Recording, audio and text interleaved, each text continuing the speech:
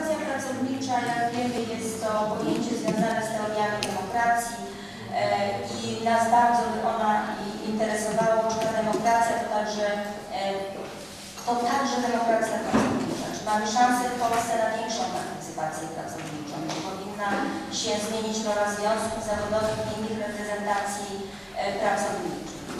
Chciałam zwrócić uwagę, że jeden z przedmówców zwrócił również uwagę, że nie wszyscy mogą być związkowcami. I tutaj e, o tej partycypacji pracowniczej mówiąc, e, to jaka jest rola właśnie w zakładach pracy tych związków zawodowych, jak, jak są liczne, jaki mają wpływ na, za, na zarządzanie. I tutaj chciałam nadmienić, że złożyliśmy do Trybunału Konstytucyjnego o zaskarżenie ustawy o związkach zawodowych, że nie mamy, obywatele polscy nie mają równego dostępu do wolności wyboru, przynależności do takiej organizacji jak związki zawodowe. Czekamy, czekamy y, na, na wyrok. Y, Szanowni Państwo, ja bym chciała również poznać zdanie Państwa o partycypacji pracowniczej w zasięgu e, europejskim, czyli Europejskie Rady Zakładowe, żebyśmy się wpisywali w zarządzanie przedsiębiorstwami również na niwie międzynarodowej, ale również bardzo mała rola rad pracowników w zakładach pracy. Z czego to wynika? Podam przykład energetyki. Y, Związki zawodowe w energetyce wygrały wszystko, co mogły wygrać i teraz będą już tylko przegrywać. Y, Właściwie już nie mają nic do powiedzenia. Y, Zaraz sąsiad pewnie skontruje. Y, Z, pewną premedytacją prowokuję Państwa do tego. Moje wrażenie jest takie, że związki zawodowe w elektroenergetyce już się poddały. W związku z tym y, proponuję, bo nie, nie chodzi mi tylko o to, żeby powiedzieć jakąś opinię, tylko żeby wynikały działania. Ja bym apelował o to, żeby wnioskiem z tego naszego spotkania była reaktywacja rad pracowników. To wymaga zmiany ustawy, bo rady pracowników mogą sobie, że tak powiem, do składu desek się. Nie mam żadnych kompetencji. W związku z tym trudno namawiać pracowników, liczących się ludzi w zakładach, żeby oni swoim autorytetem to.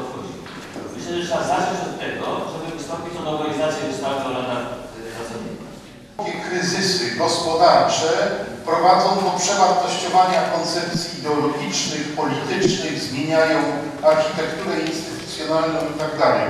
W Polsce problem polega na tym, że z różnych powodów, również generacyjnych, nie chce się tego dostrzegać, ponieważ ludzie rządzący Polską generalnie to są te grupy, które wprowadzały y, ustrój funkcjonujący.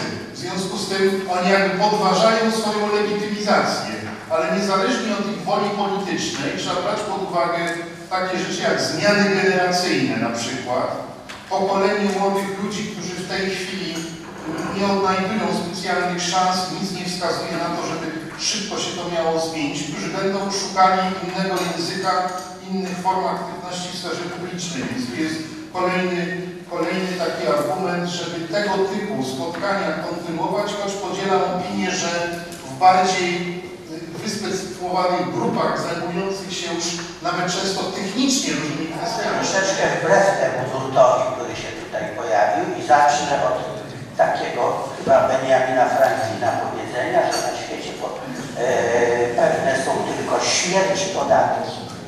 Natomiast państwo, chciałem bardzo wyraźnie powiedzieć jako ekonomista, niczego nikomu nie zagwarantuje pracy, emerytur ani niczego drugie powiedzenie, nie ma obiadu za. To chyba Milton Friedman. Państwo nie da więcej niż ściągnie w postaci podatków. W ramach tego, jeśli jednym da, drugim zabierze. Natomiast tu jest taki, w niektórych wypowiedziach, e, ale nawet nie tylko w wypowiedziach, e, cały czas e, kilka razy słyszałem, rząd nas nie słucha, nas Państwo mówicie. Oczywiście z rządem trzeba dialogować, do tego są związki, ale związki mają budować swoją infrastrukturę. Nie tylko do państwa się związki mają, y, mają, mają zwracać. A ja mało widzę aktywności związków zawodowych, które by e, no właśnie wchodziły szczególnie w nowe, w nowe obszary. Tam, gdzie są okopane, są.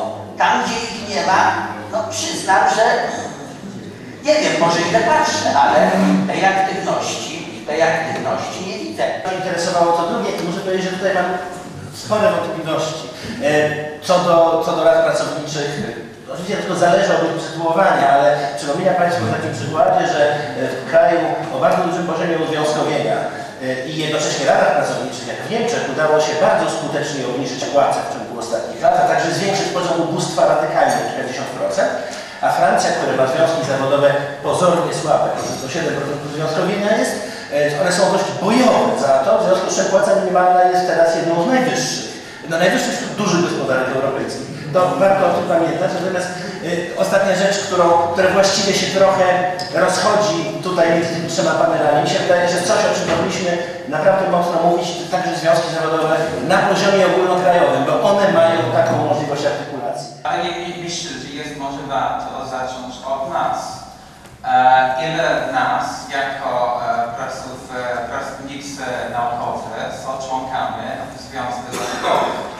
Ile nas, nasze, naszych uczelni mają dział związku, związku zawodowego? No kawa na ławę. Jeśli ja, ja bardzo chciałbym być członkiem związku zawodowego, ja bardzo chciałbym, żeby był dział E, związku zawodowego e, na moje udział, nie? Ale też jak chcę wrócić, masz pracę.